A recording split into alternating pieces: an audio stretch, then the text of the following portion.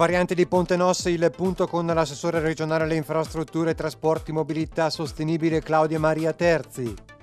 Alto Sebino incontra con la stampa i sindaci del territorio chiedono un'ambulanza di dimensioni ridotte capace di imboccare le vie strette del territorio. Quest'anno si registrano meno malanni tra i bambini? Abbiamo chiesto conferma di questa impressione a un pediatra del territorio.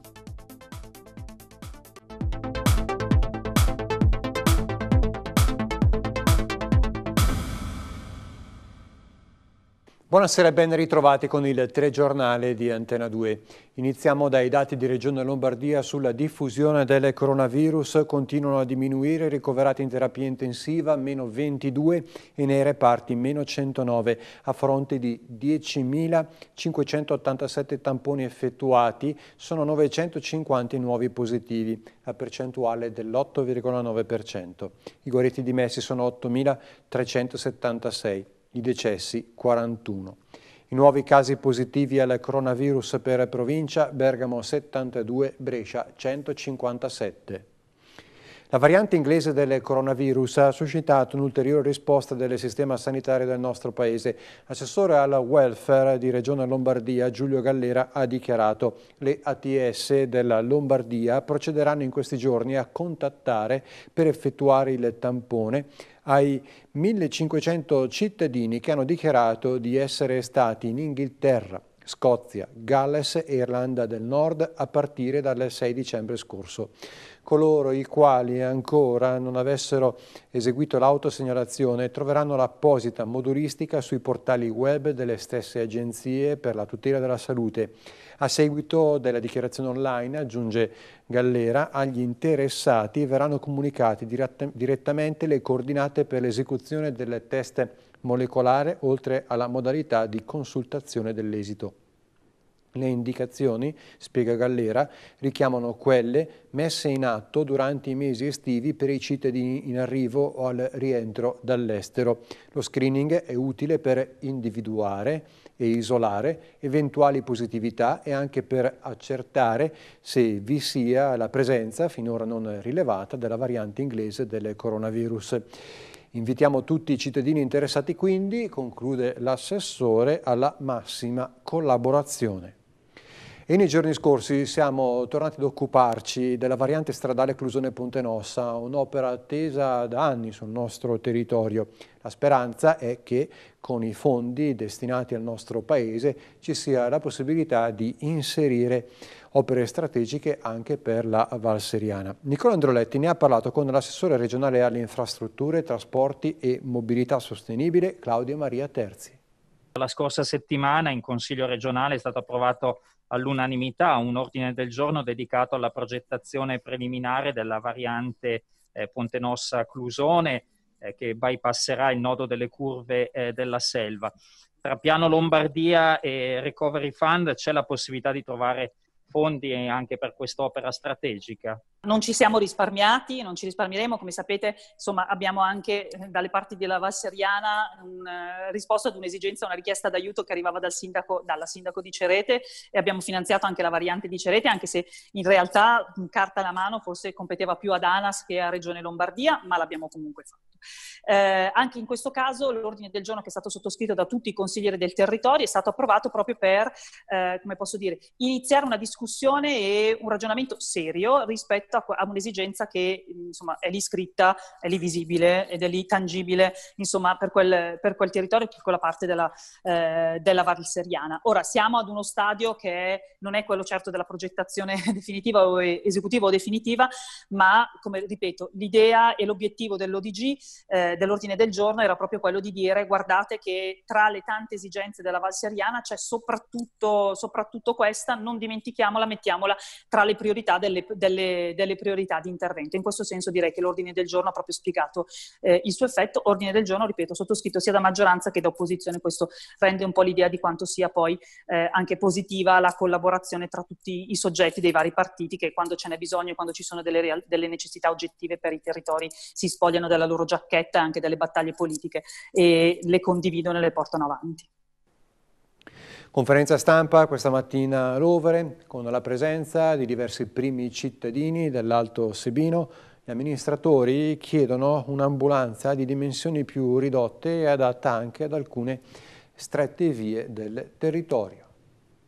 Nei comuni dell'Alto Sebino vi sono strade che a causa della particolare conformazione del territorio e dello sviluppo storico degli abitati non consentono il passaggio delle ambulanze, specialmente dei modelli più recenti, rendendo pressoché impossibile garantire il servizio di assistenza in modo tempestivo. Allora la situazione riguarda alcuni vicoli e vie del paese. Via Davine, in modo particolare, è interessata da un annoso problema relativo alla viabilità e alla sicurezza.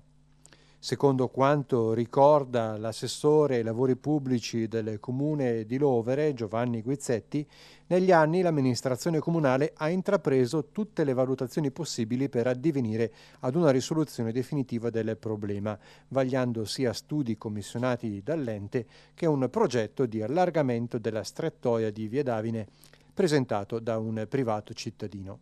Tutte le considerazioni che ne sono scaturite non hanno dato garanzie di successo a causa di insormontabili problematiche di natura tecnica o per gli scarsi risultati a fronte di costi ingentissimi a carico del comune. Per tale motivo, spiega il sindaco Alex Pennacchio, è stata prevista la sperimentazione di un impianto semaforico che unitamente alla modifica della viabilità possa scongiurare i disagi derivanti dall'incrocio delle auto.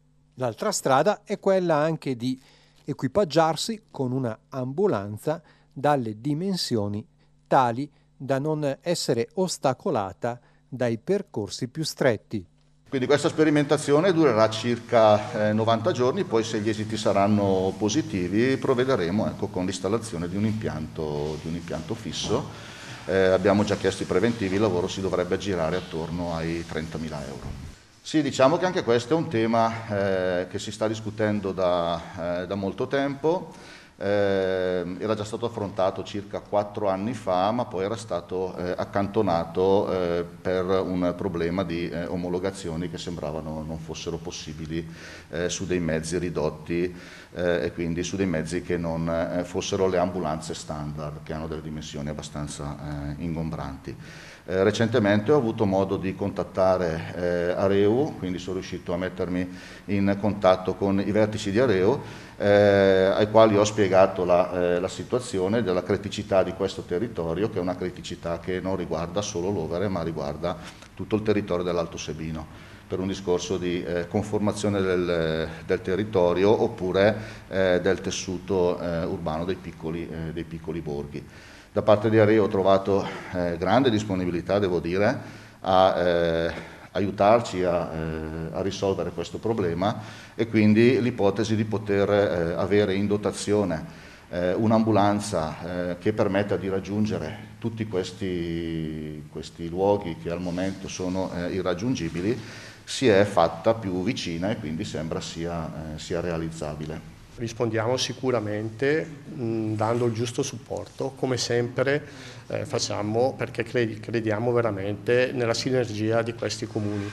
Anzi approfitto per ringraziare Alex, il sindaco di Lovere, perché noi comuni comunque dimitrofi e comunque non interessati direttamente dal, dall'ospedale, nel senso che non l'abbiamo sul territorio, ma siamo interessati indirettamente proprio per il fatto che comunque serve anche i nostri comuni e non possiamo far finta di niente quando eh, il buon Alex Pennacchio ci sollecita e ci eh, aggiorna sulle eventuali problematiche.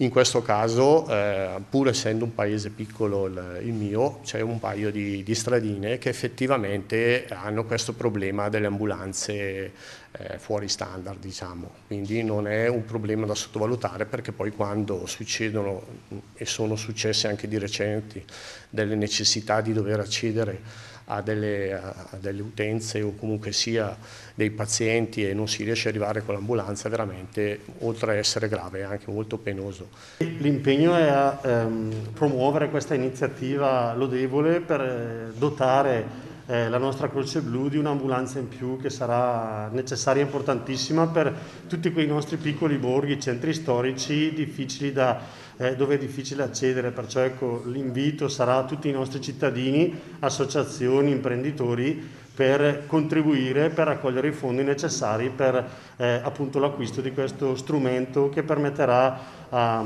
a tante persone di essere salvate, di essere aiutate. E ieri si è spento un clusonese noto sia per l'attività professionale sia per i trascorsi amministrativi. Sentiamo Vladimir Lazzarini.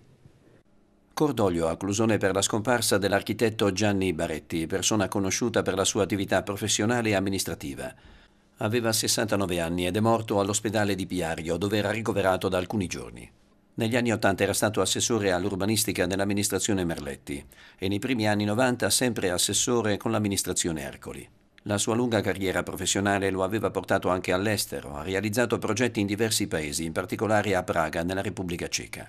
Nel 2017 aveva rilevato lo storico supermercato Testmark, di cui aveva curato il progetto di riqualificazione e ampliamento.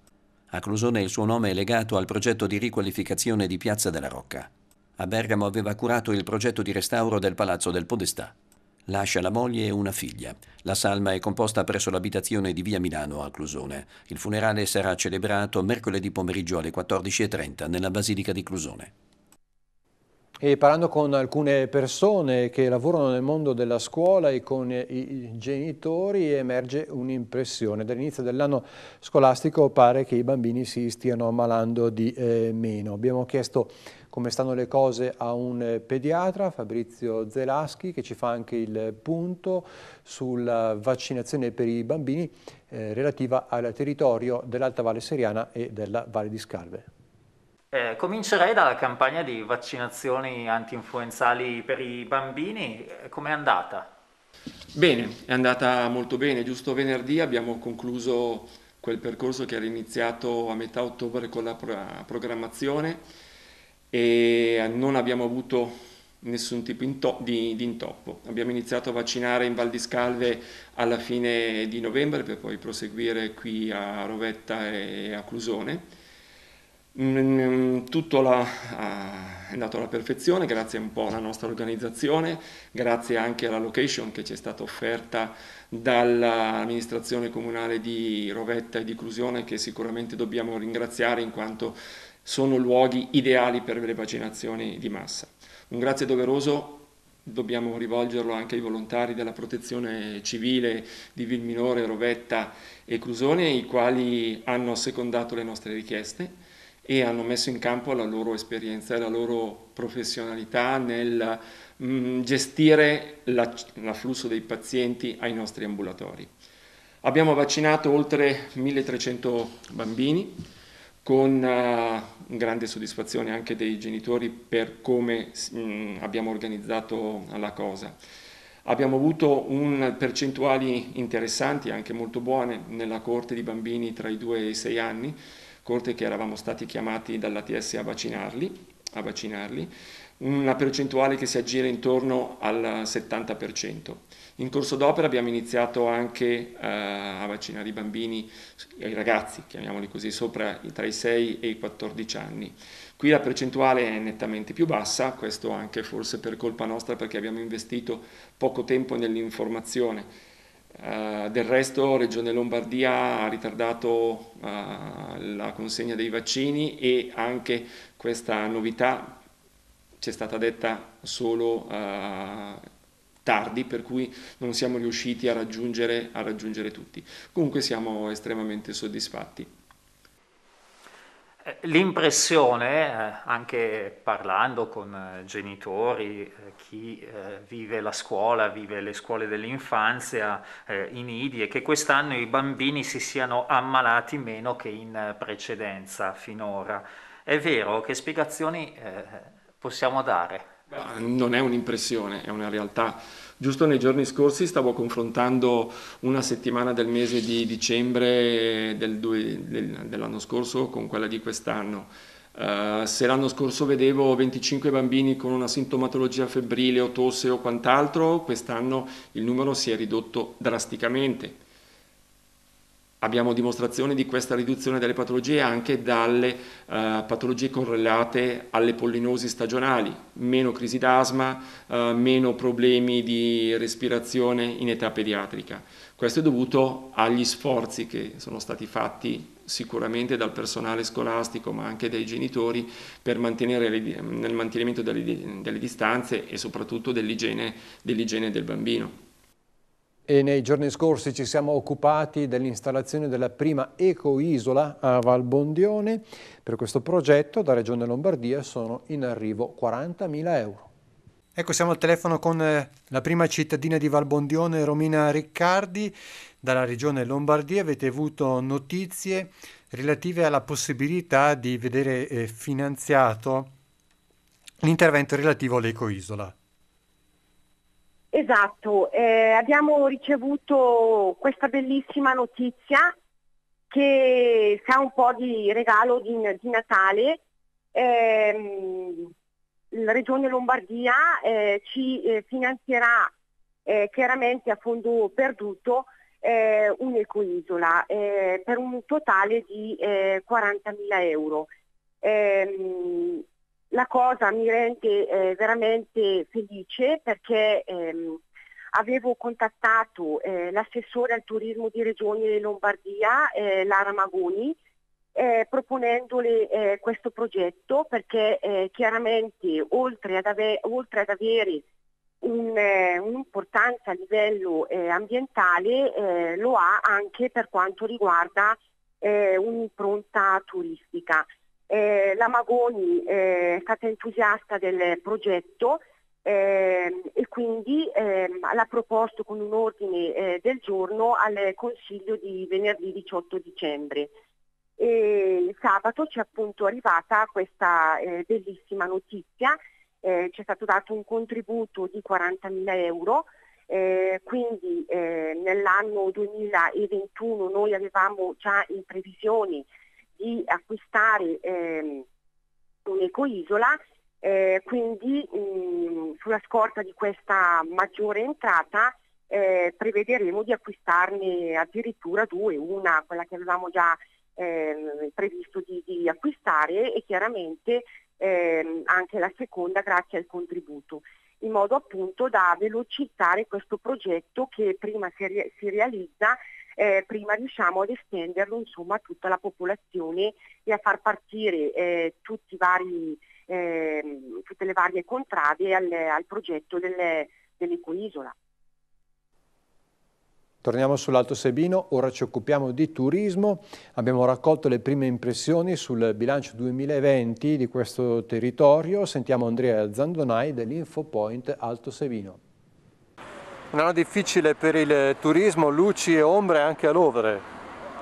Eh, esatto, eh, quest'estate eh, il trend è stato tutto sommato positivo, si è partiti un po' in sordina, eh, visto che eravamo freschi freschi dal primo lockdown, eh, le presenze poi sono state davvero numerose nei mesi di agosto e anche di settembre, buono il flusso ad ottobre e ci sarebbero state comunque tutte le premesse per avere un ottimo novembre, visto che il tempo è stato eh, stupendo, temperature miti, invece sappiamo cosa è successo, è una situazione che sicuramente penalizza in tutta Italia il turismo e nel nostro caso specifico eh, il lago di Iseo che eh, comunque ha sempre registrato un notevole numero di eh, presenze nel mese di dicembre eh, grazie anche ai giochi di luce, agli eventi sul territorio, le piste da sci vicine. Ehm, nel weekend appena trascorso eh, un po' di gente eh, si è mossa, abbiamo visto bar pieni, ristoranti che comunque hanno lavorato, le strutture ricettive hanno eh, registrato proprio i primi ehm, turisti, i primi, i primi pernottamenti, eh, certo è che eh, le misure eh, governative imponendo ehm, forti restrizioni proprio per contenere l'epidemia daranno eh, e avranno degli effetti eh, fortemente negativi eh, sul, sull'economia locale, quindi sulla movimentazione delle persone. Eh, sappiamo però che sono misure eh, volte proprio a tutelare la, eh, la, salute di tutti e speriamo e confidiamo che il 2021 parta con uno slancio migliore e si possa poi godere appieno del nostro territorio nell'estate del, del prossimo anno. Domani sera alle 20.30 torna in onda la rubrica di pareri ed opinioni locali Il Sasso nello Stagno, cura del nostro Tony Tranquillo. Grazie per la linea, amici del telegiornale, siamo qui da Gandino dove andrà in onda questa settimana il nostro Sasso nello Stagno dedicato all'Atalanta e in particolare all'affair Gasperini Papu Gomez. Sembra che ci sia stata, anzi ormai è chiaro, ci sia stata tra di loro una frattura e vogliamo chiedere agli atalantini dove porterà questa frattura, a una separazione tra il Gomez e la squadra di Bergamo. Cosa vogliono i tifosi? Che si torni appunto a eh, giocare, ad essere amici e tornare insomma in campo campo insieme oppure Popo da una parte, Atalanta continua la sua storia dall'altra. Sentiremo un sacco di interviste per il nostro appuntamento domani sera alle 20.40, adesso ve ne regaliamo una in anteprima. Ma c'è qualcuno che dice che le liti più grosse si faranno fra le persone che più si amano, sicuramente fra i due c'è una grande stima in questi anni, eh, l'uno ha fatto la fortuna dell'altro perché è evidente che Gomez è stato uno dei maggiori campioni che abbiamo avuto a vestire la maglia nero-azzurra, ma è altrettanto vero che Gasperini è stato uno dei più grandi grandi, se non il più grande, fra gli allenatori che hanno fatto grande la Dea. E quindi è un do-out des che a volte può anche arrivare allo scontro, probabilmente in una situazione anche nervosa, fine del primo tempo con i danesi quando non si vince, dall'altra parte senti che stava pareggiando con il Liverpool e quindi di rischiare di avere un dentro fuori ad Amsterdam costretto a vincere, qualche nervosismo, forse qualche parola fuori posto da uno o dall'altra parte, francamente interessa poco e si è arrivati un po' alla lite. Eh, Probabil- ma secondo te i tifosi sono per un ma dai facciamo la pace, un no fine alla storia, ciao? No, che parte stanno i tifosi? L'impressione è che Bergamo sia un paese netto, una, un paese, una città netta nei giudizi, netta nel, nel prendere le parti di uno o dell'altro, ma non sia mai definitiva. Credo che in questi anni ce l'abbiano dimostrato quando Bergamo ha saputo superare per esempio le questioni legate a Cristiano Doni e ancora di più mi ricordo molto le questioni legate a Andrea Masiello, Andrea Masiello squalificato eccetera, eppure tornato ad essere a Bergamo addirittura capitano e ad essere osannato come come The Wall quando poi è andato anche giustamente a finire la carriera a Genova. E quindi credo che i bergamaschi saprebbero andare oltre a questa cosa e forse è quello che chiedono, credo che si aspettano per Natale, per Capodanno, il piccolo grande sogno, qui ha dato un po' corpo anche l'intervista di Zapata a fine partita, possa essere quello eh, di vedere un Gomez che torna a essere quello che magari con una battuta su Instagram liquida il tutto e si torna a pensare, e sono tante le cose da pensare, al calcio giocato di Coppa Italia, di Champions League e del campionato. La programmazione televisiva questa sera sulla nostra emittente sul canale 88 alle 20 preghiera in famiglia cura dell'oratorio di Clusone, alle 20.10 tempi supplementari, alle 22.30 la seconda edizione del nostro telegiornale, alle 23.40 Agri Sapori, alla mezzanotte e mezza la terza ed ultima edizione del nostro notiziario. Telegiornale di Antena 2 tornerà in onda sul canale numero 218 alle ore 21.30. Sul canale sportivo il numero 628 alle 20.10 trasmetteremo tempi supplementari alle 22.30 la partita di calcio in replica Pradalunghese Juventina Covo. L'almanacco per domani, martedì 22 dicembre, il sole sorge alle 7.54 e tramonta alle 16.44, il culmine alle ore 12 e 19 minuti. La durata del giorno è di 8 ore e 50 minuti. La luna sorge alle 12.55 e tramonta all'1 e 9 minuti del giorno successivo. La fase lunare, la luna è crescente ed è visibile al 53%. La chiesa ricorda San Flaviano.